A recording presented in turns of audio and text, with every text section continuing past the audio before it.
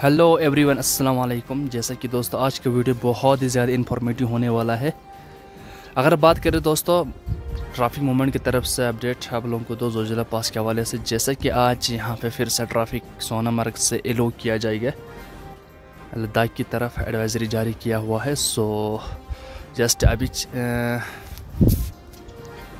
छः बजे से लेके साढ़े आठ तक, यानी ढाई घंटे के करीब मूवमेंट को कंटिन्यू रखता है ताकि 200 से ज़्यादा भी गाड़ियों को सुबह के वक्त में छोड़ दिया जाए और फिर साढ़े आठ के बाद दोस्तों गाड़ियों को फिर से रोका जाता है। उसके बाद दोस्तों फिर मोमेंट बंद रहता है साढ़े आठ बाद।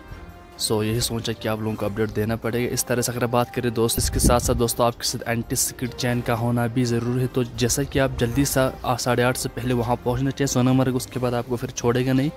ये मैंने आपको रात को भी बता दिया था। बाकी दोस्तों बात करें रात के साढ़े दस करीब दस बजकर सत्रह मिनट पर यानी इन कश्मीर एरियाज़ में सिक्स पॉइंट फाइव तक मैग्नीट्यूड यहाँ पे एर्थ क्विक हुआ था। सो अल्हम्दुलिल्लाह बात तो ये है कि दोस्तों यहाँ पे हर कोई सेफ़ है।